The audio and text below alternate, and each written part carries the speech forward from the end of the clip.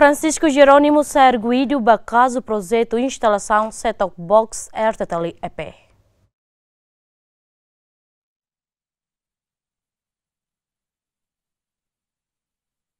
Ministro do Assunto Parlamentar na Comunicação Social, Francisco Martins da Costa Pereira Jerônimo, cumpre notificação da sessão investigador CAC, onde presta declaração no dar constitui arguido do caso projeto instalação set-top box RTTLP da der quarta e edifício CAC Farol. Francisco Martins da Costa Pereira Jerônimo sai arguido do caso set-top box RTTLP, também só equipamento instalação set-top box RTTLP, o osambot, mas bem equipamento refere a utiliza, de lore prejuízo para Estado, o osan basic tocam walu.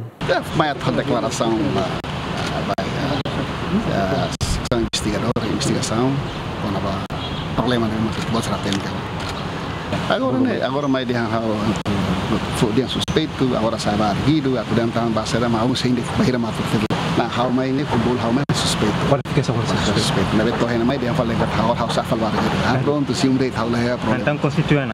ha foi investigação governante ne lamenta o investigador kak ne bela iha carta conhecimento ba primeiro ministro Tirerakia órgão constitucional estado